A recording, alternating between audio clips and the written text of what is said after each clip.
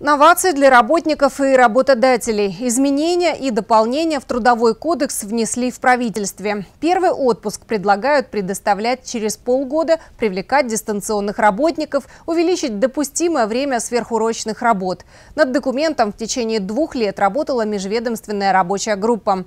Принятый в правительстве проект направят для обсуждения в Верховный Совет.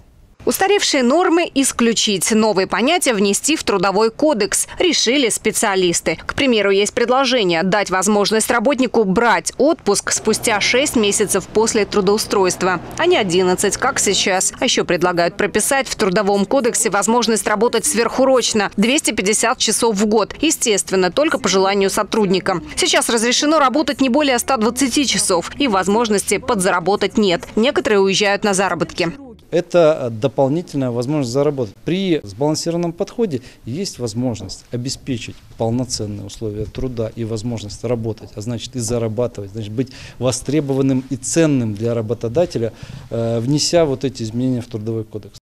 Трудовом кодексе пропишут и право на неполный рабочий день. И впервые в документе появится понятие «дистанционный работник». Речь о сотруднике, который не привязан к рабочему месту. С одной стороны, трудовой кодекс должен способствовать развитию экономики, не должен тормозить развитие производства. С другой стороны, понятно, что должны быть защищены интересы трудящихся.